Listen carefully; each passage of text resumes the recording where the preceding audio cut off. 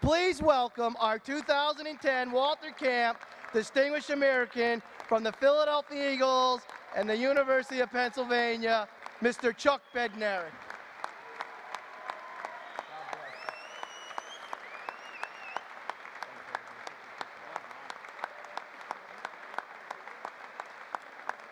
Chuck, right up. Right there, for you. You're never gonna get it.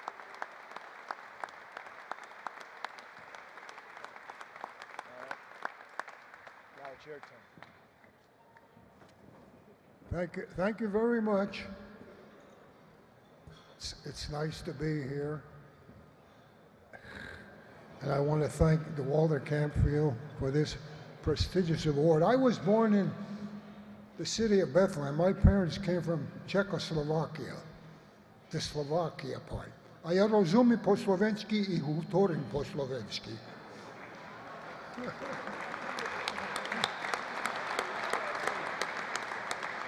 What I said is, I understand Slovak and I talk Slovak.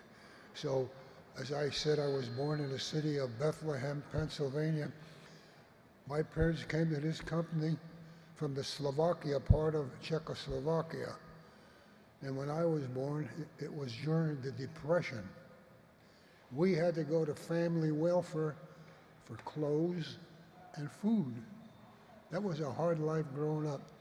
In the meantime, there was no cars on the street or anything. And I did all my football, basketball, and baseball on the streets because, as I say, there was no traffic. I played high school basketball, football, and baseball. When World War II came, I was drafted. I couldn't wait to go. I was assigned to the Air Force. I wanted to be a pilot. But as an 18 year old kid, piston there goes here, piston there goes. What the hell did I know what the hell the pistons do? So I couldn't pass the test to be a pilot, but I was assigned to the aerial gunnery school, and I took it at the Tyndall Field, Florida. I was assigned with the crew, and I still talk or see a few of them today. Most of them are gone. And we flew over the uh, Pacific Ocean, over the Atlantic Ocean to Europe.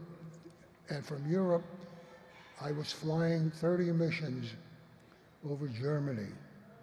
And boy, some of those missions, especially when you went to a city like Berlin or Cologne, wow, the anti-aircraft was unbelievable.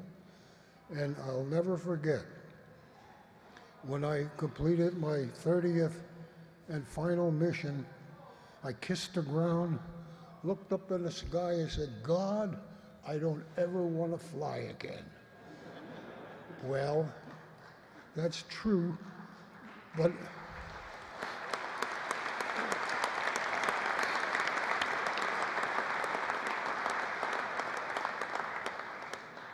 But when I fly from the ABE airport to Harrisburg or something, that's not that big because nobody is shooting at me. well, I live in a place called Coopersburg, Pennsylvania. My wonderful wife of 64 years.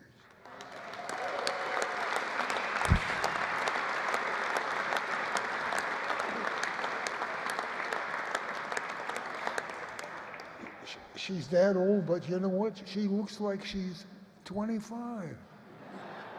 Really, she's a very, very attractive girl. As I said, we had we had five daughters, and with those five daughters, there's 10 grandchildren. So Christmas time is a little expensive. And they don't want gifts, they want money. and you know, money's easy to give away to the kids.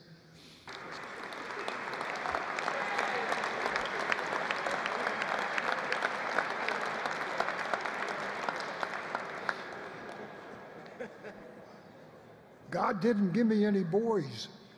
He gave me five daughters Charlene, Donna, Pammy, Carol, Jackie. Five of them.